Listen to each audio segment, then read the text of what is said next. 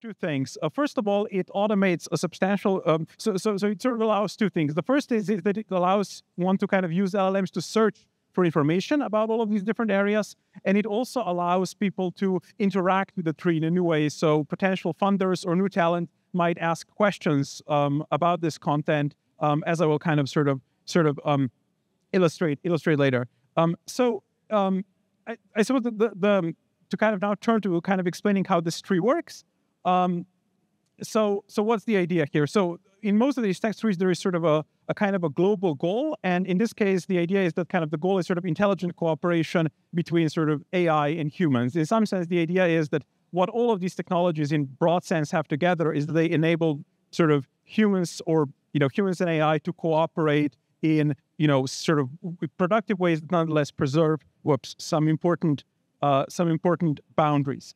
Um, nonetheless, though, we do have sort of like three different types of nodes on this tree, um, and um, sort of the, there is a reason for that. So if you talk to most people that work in these areas, um, they will usually sort of focus on one particular technology. This will be true um, in particular in academia, but even to some extent in, in industry. Uh, nonetheless, if you sort of push people um, and sort of ask them to sort of come up with sort of a narrative about how a given technology might um, sort of how does it fit into the world? What does it what does it sort of do? Um, you know, people will come up with these various narratives and sort of, based in our experience, they kind of sort of center in one of these sorts of five clusters. Um, one of them is sort of physical security and AI. The other is uh, cryptographic methods for complex cooperation. Uh, then we have sort of uh, pri- sort of kind of pr- privacy-enabled AI systems, and then sort of more on the cooperation side, um, it'll be it'll be sort of sort of methods for preventing um, collusion and deception and methods for solving sort of principal and agent problems. So these are sort of the goal nodes that kind of organize organize a lot of this. Um, so the second type of node on this tree um, are these sorts of technology nodes, and the idea here is that um, th- these are the nodes that, as it stands, sort of contain the most information. So, so we sort of had two constituencies in mind for this. One is sort of new talent, and the other is perhaps potential funders. And so, in order to do that, for each of these technologies, there are certain key questions that you would kind of want to answer. So, sort of, what is this technology like? Like, sort of, how, why are people excited about it? What would it allow people to do? How is its potential sort of perceived? Um, then a little bit about its history, and maybe oops, just to sort of show all of these nodes are clickable. So, one of them. So this, for example, is about zero knowledge proofs, which is one of these sort of exciting cryptographic technologies. So there's something about you know what a technology is about, um, what, a bit, a little bit about its history, and then sort of kind of most interestingly, whoops, stops scrolling, um, about like what are some of the main sort of projects and companies currently sort of sort of sort of working um, in the area. In the in the future, it would be sort of great if there was sort of even more information that was on these sorts of nodes. Protect, for example, how much funding there is in a given area, or sort of things of that nature. Um, I mentioned before that this sort of graph tool allows people to sort of query the tree, and I will just kind of sort of demonstrate that um, with like these two particular queries. Um, just whoops. So to just give one example, I have two two queries like prepared. Um, so for example, let's say that you are a funder and you're interested in like what is the difference between um, between sort of two companies that appear on this that appear on this tree. Oops. And for example, the, the LLM tool is then able to, so it, it, kind of uses information that is both on the graph as well as, for example, in the rest of the, the, the large language model, for example, to generate like a, a comparison between these companies that, for example, looks like this.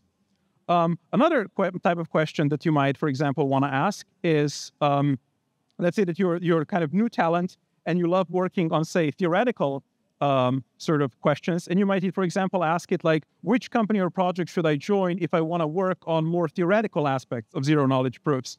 Um, and you can, for example, ask it something like that, um, and uh, it, will it'll once again sort of generate something something in the spirit of, of basically that that sort of an answer. And then finally, what we have on on sort of this tree, which is perhaps kind of most interesting again to funders and new talent, are these so-called challenge nodes, um, which um, are basically supposed to answer the questions of like what are the key things that are sort of stopping um, you know this technology from basically being deployed, from me from me just sort of being being kind of real.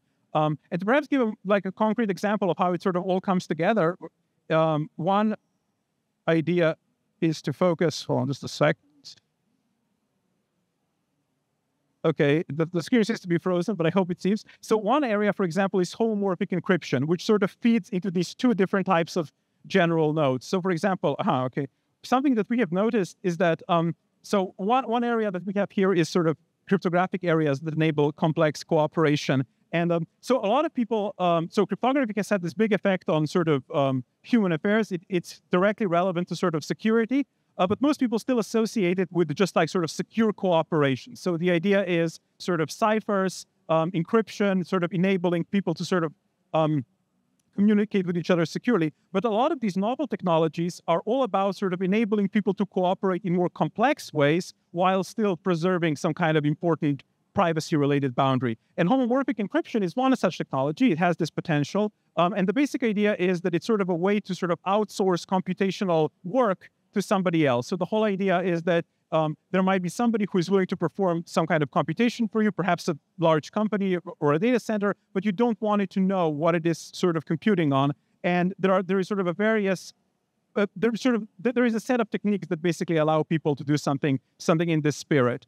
Um, but equally well, um, sort of homomorphic encryption is relevant to sort of these uh, privacy preserving machine learning frameworks. Um, so this is, for example, so a lot of data that people might want to train um, these sorts of models on um, is sort of personal, for example, medical records. Um, and people want to basically train models, but they don't want these models to contain um, sort of, you know, to, to, to, basically contain this personal information. And homomorphic encryption is one of these sort of technologies that might might kind of sort of enable that. And um, sort of on this other side, for example, if you now look at the sort of the challenges that exist on this, um, sort of so what, what stops it from being developed? So something that is common to a lot of these technologies is for example that just there is a lack of developer tools. So a lot of these things are sort of very very complex and for them to be used by developers people need to sort of develop develop the right sort of apis and that is like an open issue for a lot of them. Um, the second issue here is that a lot of how the security is, is achieved uh, is by sort of making them much more inefficient than normal computation would be. So there are all of these like performance overheads um, that sort of crop up with with a lot of these approaches. And another uh, sort of problem is these limited information types, and that is like the third node there. Um, that basically sort of allow these these methods to to sometimes be able to do certain things privately, but perhaps not other things. Perhaps you know what you are computing, but not you know what exactly the data is that you're computing on, and sort of sort of kind of challenges in that in that spirit.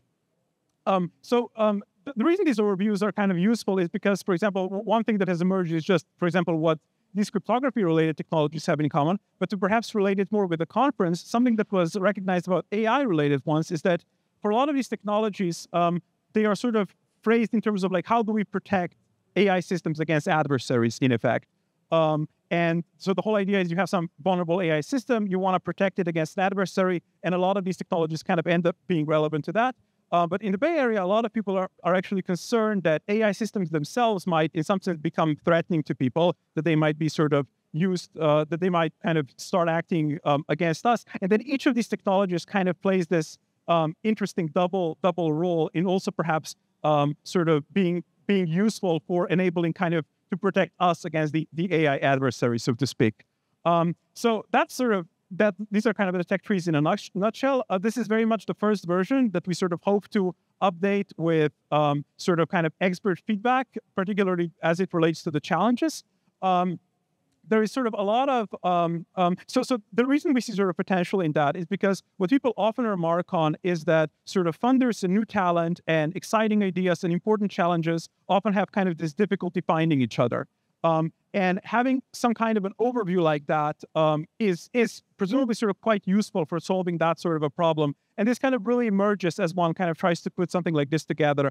Um, in a lot of these areas, for example, people will have um, different conception about sort of the technology, you know, what the potential of the technologies is. People might kind of see them as developing in a different way. People will disagree on what the challenges are. Um, some of the most exciting new ideas are perhaps quite obscure, so many people don't even um, don't even know about them. And at the same time, um, there is also a kind of a constant foam of sort of new projects and ideas kind of popping in and out of existence. Um, and so there is also the sort of issue um, with with keeping uh, the the map current. Um, but uh, nonetheless, we're sort of quite excited about that. And if you would love to uh, like talk more about this, I would be delighted to chat. Thank you.